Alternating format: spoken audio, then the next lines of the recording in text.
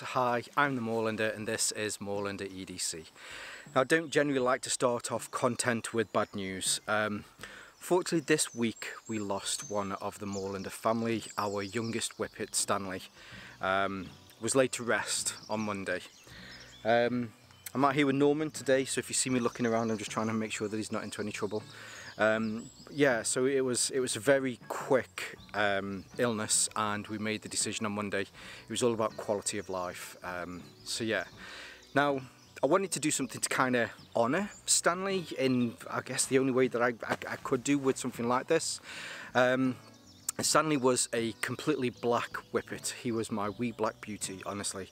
A um, little bit of white on his chest and, and, and around his feet, but he was pretty much jet black very hard to see in the dark. Um, and I thought why not do an all black EDC in memory of Stanley. Um, yeah, I'll miss you little dude. So um, let's let's get straight into it with my all black EDC. Now, actually, starting with it, the, the first ones, the, the, I'm carrying a few of them. So the first one is on my face at the moment. So these are my Hawkers. Um, Hawkers are a, a, European brand. They make very nice glasses. Now, the, the big difference with these is that the vast majority of them, and weirdly, so this is the one pair that do have does have um, some metal on them, but generally I'd say probably, I mean this is just a pure guess, I'd say probably 70% of their line are just completely made from plastic. So the, the, the arms, if they get pushed too much, they'll, they'll, just pop off and then you can pop them back on again. Um, these have um, just a screw that's in there, but uh, I think in the entire time, I've probably had these about five years now. Um, never had any issues with them and the screw has certainly never come undone. Um, so yeah, do you know, I'd like to say that I, I, wear some really expensive, kind of really nice glasses, but I find with Hawkers they're very reasonably priced. The vast majority of them range from maybe say 30 to 40 euros. There are some more expensive ones. Um, but they have polarized lenses on them the vast majority have polarized lenses on them and I think in the five years that I've had these I've not had any issues and I've dropped them yeah, I've lost them, then found them again, and yeah, hawkers. So there you go. Uh, the next one I, I have here as well. So really proud to show this one off. This is from this is the rhombus from JS Designs. JS Designs is a small single man company um, in the Ukraine. Now obviously world events you know that there's a lot of a lot of bad stuff going on in Ukraine at the moment, so it's great to be able to shed some light on some absolutely top tier um, craftsmanship coming from that country. Um, so the rhombus is designed as, hopefully as you can see, as a, as a sling bag that you can just pull round. Um, the quality of the stitching on this, the quality of the materials, top notch. You got the um, YKK zippers, aqua guards here across the top. These need to be a little bit smoother, which we'll, which we'll have a look at a second. Um, he even has his own, I'll, I'll, take a photo of this, he even has his own little um, pull tabs, which are really nice. They come with all black ones, uh, but was included with these two orange orange ones. So it's easier for me to know I need to pull these to, to be able to open things. It is designed to be a left hand carry. So um, although I'm right-handed I, I, carry things on my left side. Um, and it's designed purposely for a reason and that is that when you open this up there's actually a little pull tab. So if I just pop that up for a second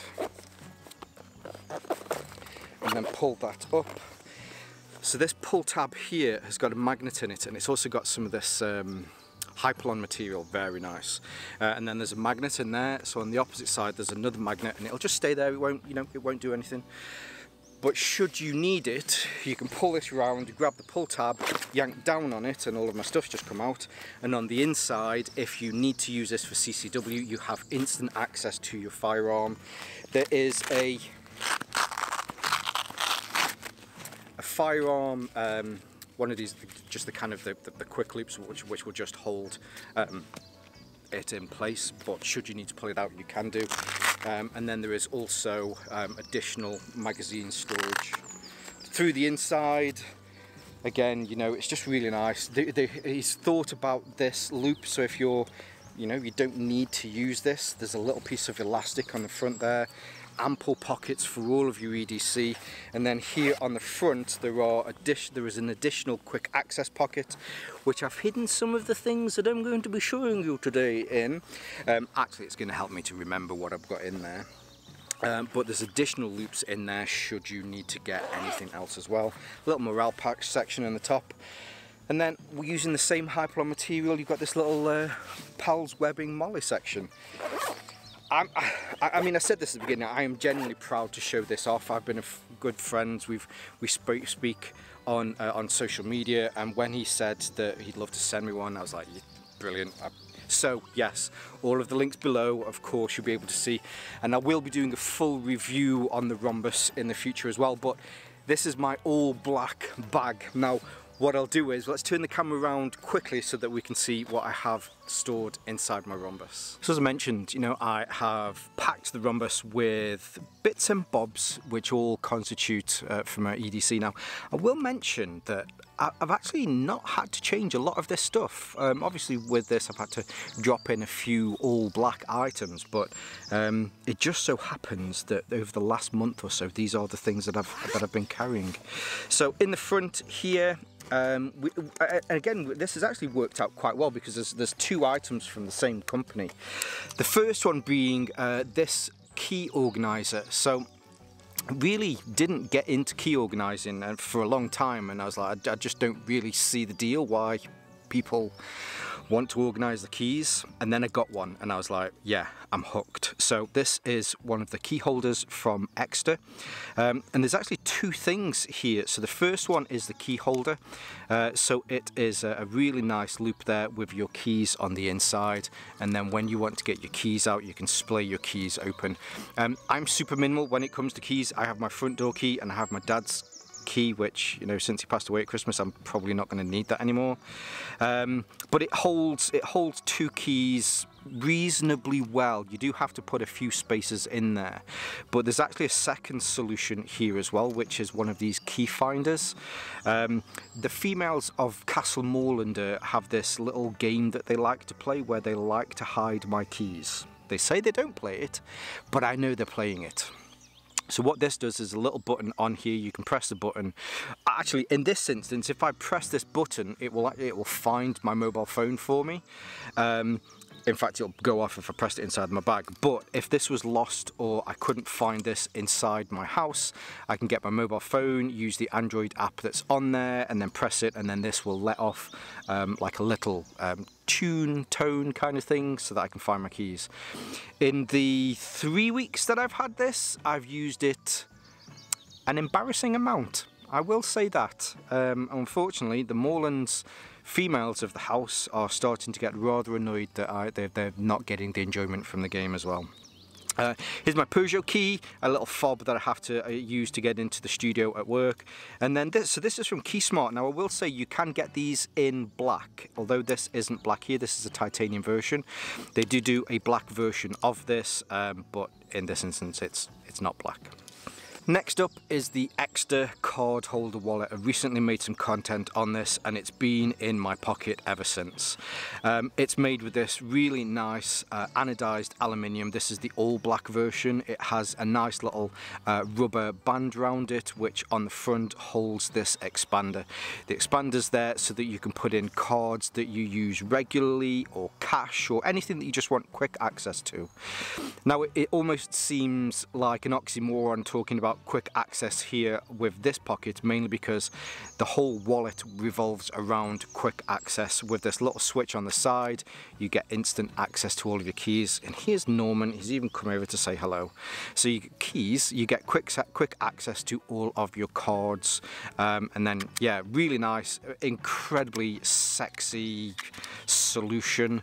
Um, but yes this is the Ekster card holder wallet so yeah, it just so happens that yeah, I've got two Ekster products with me today, um, but yeah, you know, I genuinely have been carrying these. So then in the, oh actually, do you know, while I'm, while I'm reaching down, he sees this mammoth beast on his arm. So um, all black EDC watch, we have the Casio King.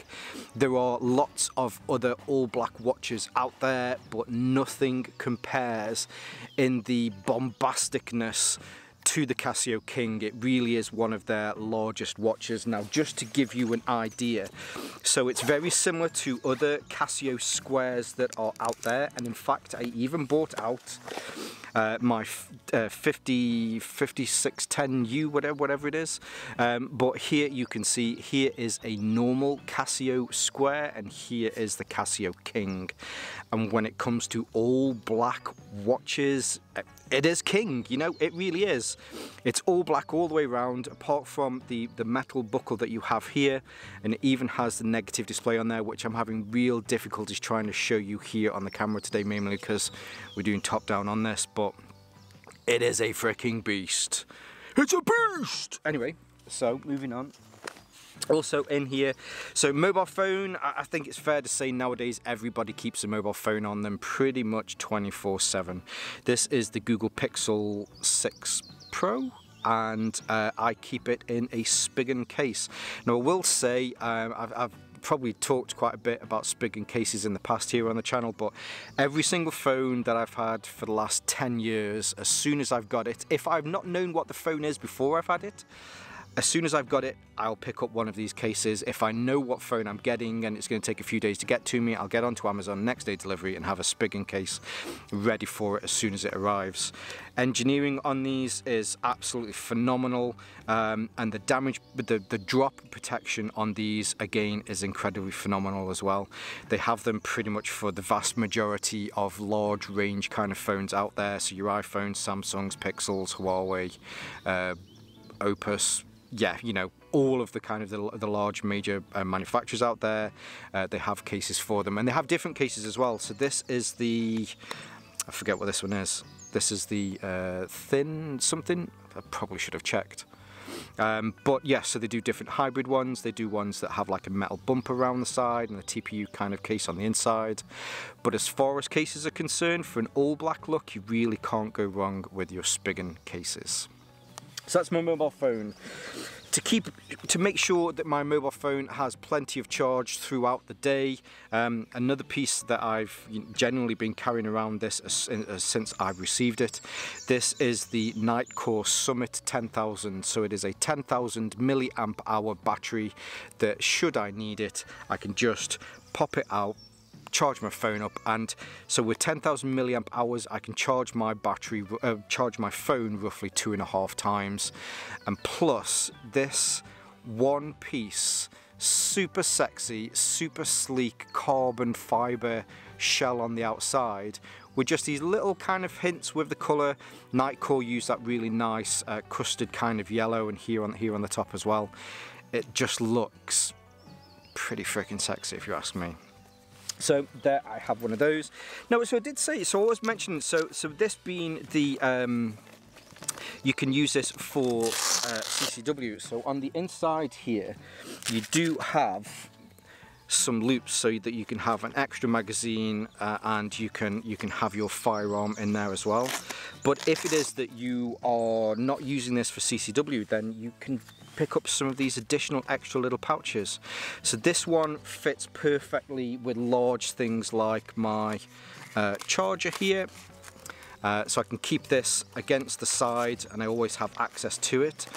But if I wanted to put smaller things in here, maybe some pens, maybe a multi-tool or something, then there is another panel uh, which will fit on there as well. Uh, but for now, what I have actually been carrying um, is this. So this is one of the hub pouches uh, from Alpaka Gear. I, I, am a huge Alpaca fan, um, and the, the quality of the gear that they make is, is exceptional.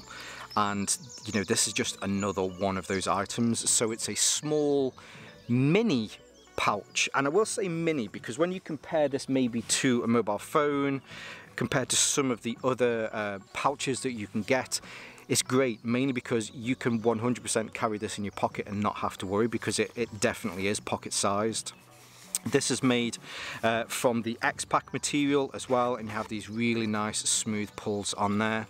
Uh, double open so that I, you can you can open this right out and then here are some all black items on the inside. Quickly I'll just pull this one out so you can see this is a, uh, a little USB uh, to USB uh, type C uh, cable which I keep with me so that I can charge things if I want to. Um, I also keep Ranger bands. I've said this, so I've made a couple of pieces of content. In fact, if you don't use Ranger bands and you don't know what Ranger bands are, have a look whichever side of the screen and I'll show you exactly. Because I use these a lot and I always keep them with me. There's either some in a bag or there's some in a little pouch like this, but they are super useful um, for EDC things. So all black Ranger bands. Uh, have my knife in here, so this is the Civivi Baby Banter.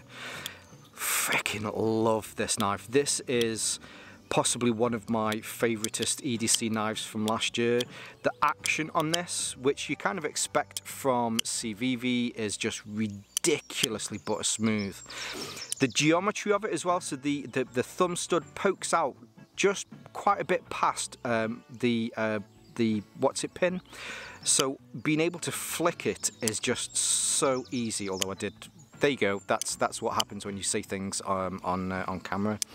Um, so scale, uh, so the scales on this are black G10 and it is Nitro V um, blade stock and yeah it's just awesome. This is my fidget knife. So when I'm on uh, zoom calls or teams calls talking to colleagues and faculty uh, this is um, the knife that they go can anybody hear some clicking? And I'm like uh, no. So that is the Civivi uh, baby banter in here as well, all black. When it comes to pens, you can't get sexier than the um, Fisher Space Pen. So these are the pens that went to the moon. Uh, on the inside, they have pressurized cartridges so that you can write underwater. You can even write, if you have a piece of paper on the ceiling, you can write on uh, any angle. And they have two parts, so you have the, the main part here at the top, which is the cap. It pulls off, you spin the pen round, and it turns into a full-length pen. Um, not only are these ridiculously pocket friendly, but they're just very nice to write with. The, the, the gel inserts or the, the, the, gel and the pressure from there just makes it a very smooth, very clean writing experience as far as pens go. I don't really talk about writing experiences a lot. I found that the writing experience has really changed since 1972. I, wouldn't, I don't know, I wasn't alive in 1972. Uh, then last but not least, is that everything? I think that's everything. We have and I, this this arrived this week. Um, Olight had one of their sales recently, and I thought, well, why don't I use my own code, Randy10, if you want 10% off. Anyway, um, so yeah, I picked up one of these. So this is the i3T EOS, which is one of their in fact, no, I wouldn't say the smallest lights because I know that they've got at least two or three that are smaller than this. Your real kind of standard keychain lights. But I think for, an, for a regular EDC light, this is possibly one of their smallest regular EDC lights. But this one is made from carbon fibre and it is sexy as hell. It, it feels really nice as well, so I'm, kind of used to touching carbon fibre, but it's almost got like a matte finish to it. I don't know how they've got that. Usually it has quite a gloss. I suppose it's the way that it's probably polished afterwards. Um, but yes, it has a matte finish to it, um, which I think helps to really pop the fibres that are in there. This one works on a single triple A battery and I will say that the batteries last a long time with these. You have a single click for on and it puts it into the lowest mode then if you turn it off and back on again it bumps it up into the higher mode. It's just enough that you need and I think when you have these small kind of pocket pouches um, or pocket organizers um, the i3T and its larger i5T brother are possibly some of the best pocketable EDC flashlights that you can get out there. Now, the last one, I, I just realised fell out of my bag when I, when I undid my bag over there. Um, it's a fart machine, and I've carried this on and off pretty much every day for the last year or so, especially when I've left the house. Um, if you have ever watched any of Leslie Nielsen's interviews, generally he has one of these in his pocket and it's just great. Um, becoming a dad, there's, there's two things that happen when becoming a dad. Uh, I mean, you might think that I'm pretty old fashioned when I say this, but you have two roles. The first one is to provide and protect for your family. The second role is to embarrass them as much as possible. So the way that this works is, hopefully you'll see there's a small little hole there at the top. The top bit is made from a hard plastic, whereas the rest of this is made from quite a soft rubber. What you do is you put the hole against your hand and then... So this brings me hours and hours and hours of fun, mainly because I can embarrass my children with it. It is, of course, all black, which fits in perfectly in my all black EDC carry, and just finish with it. A little toot there. In fact, I think this is called the tuteur. Le tuteur. So there is my all black EDC and as usual I'll leave a link below so that you can see everything that we've had a look at today. In fact, oh, talking about links below, here's Norman. Um, yes, he's been kind of wandering around today trying to find his brother but I thought I'd bring him out so that he at least got some company. Um, so yeah, say hello Stinks. Or don't, that's fine. He gets a bit camera shy. Um, so yes, links below to everything. I'll leave some of my social media links below as well. But for now, stay safe, stay Moorlander and stay EDC.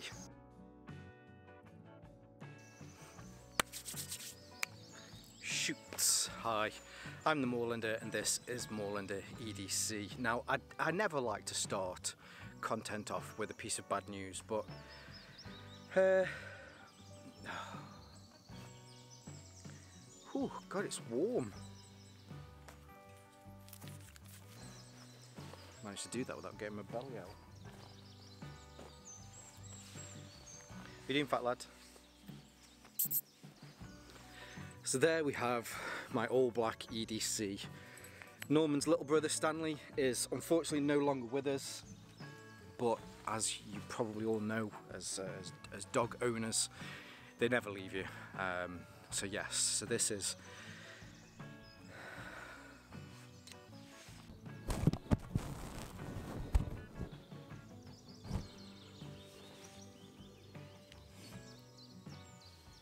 You do know, little dude.